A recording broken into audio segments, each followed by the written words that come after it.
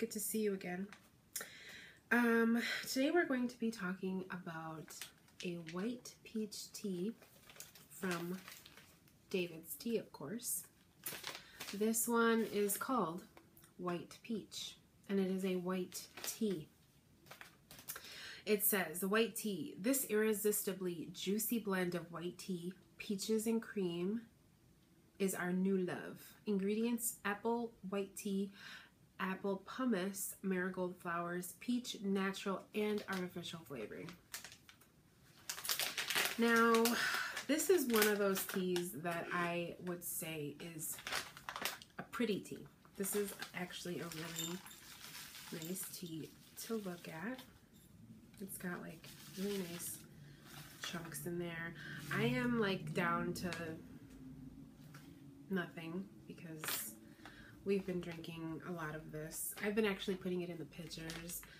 So I'm getting really low. I'm going to have to go get some more here soon. But anyway, here, uh, yeah, this is what it typically looks like. I was just checking to see if this is just like the bits that end up at the bottom, you know? But no, this is what it typically looks like. So you can see the apple chunks and marigold flowers, um, the white tea. It's actually really pretty when you look um, in the bag. But I love those chunks of apple, and I think it's peach. Oh no, that's peach. Mm. Wow, really pretty. Anyway, so um, like I said, I've been making this one in the pitcher. This is the kind of peach tea, you know, because peach teas can vary. I'm already giving a review before I actually taste it. Um, but the truth is I've been drinking this for a little while now. This one's kind of true to my heart, you know, because I got this one at the Palisades Mall in New York. And, uh, well, of course, I was really excited to, you know, see a David's tea, even though I know like David's tea is the same everywhere, you know, but still, just reminds me of being at the Palisades Mall. But anyway, um, this one is more of um, a peach rings, the candy, the gummy candy. This is kind of more of that flavor. Um, but as always, I try my teas plain, just, you know, as is, no sweetener, cream, nothing. Um, so I did one perfect David's Tea Perfect tablespoon, teaspoon, whatever. Um, and I, because this is a white tea, I brew it like a green. I don't wait for the water to boil. I just kind of, until it feels hot. Um, I would say no, nothing above like 160, 65. I could be wrong, but I, I just, I don't take any risks, okay? I just, you don't want it boiling. Um, and I brew it for, I think this one I did like a minute and a half, minute, minute and a half.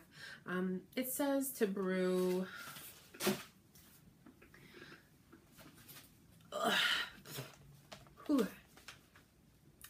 it says to brew, oh, it says to brew at 195. I don't really go that hot.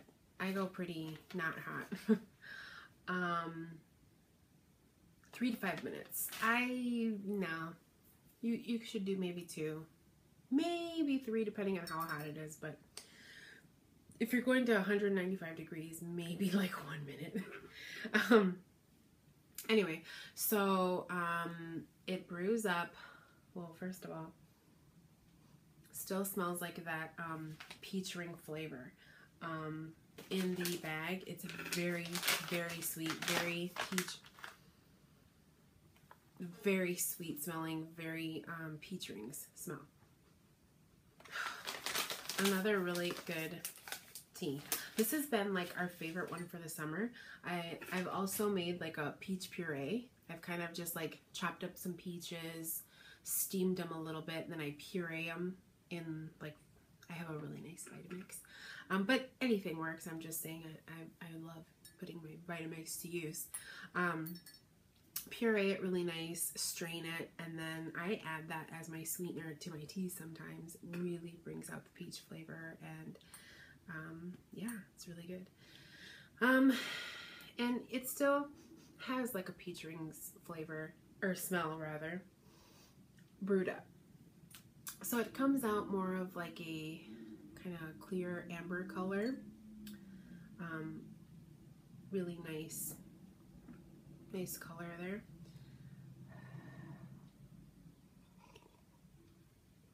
I can't say I've actually sipped this hot. I've been drinking this iced like all summer.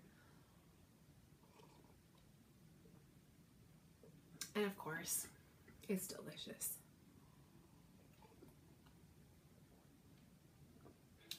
It's got like that.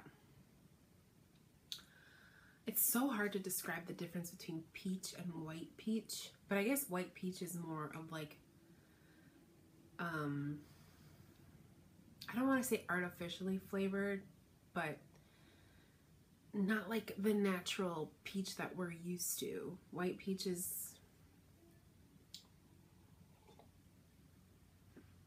kind of pungent in the nose a little bit. Little, little bit. Um, this one's really good. I would say that um, because it's a fruit and sweet, I prefer it iced. I love it iced. I would recommend it iced. Um, but there's no reason you can't drink it warm like this. Like when in the summertime, I mean in the wintertime, if you're kind of wanting to get away from the spicy or the warm tones or warm flavors, pop a fruit one in your in your steeper. I can enjoy this warm every now and then. Definitely. Um so yes, I really really like this one. Um I peach is my favorite of anything. Like peach at Bath and Body Works, peach makeup, peach lotion, peach drinks, peach ice cream, peach slushies, peach everything for me. Um, and I would say out of all of the peach teas at David's Tea, have I tried them all? I think there may be one that I missed. Can't think of it at the top of my head. But so far, top peach tea. Oh, and there's one from Celestial Seasonings. Celestial is that what it's called? I forget.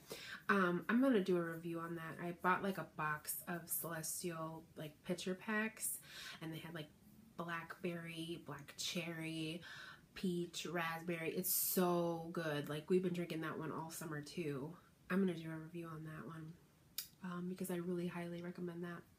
But anyway, that's my review on the white peach tea from David's Tea. If you've tried this tea, please let me know what you think down below and I'll see you on the next video. Ciao.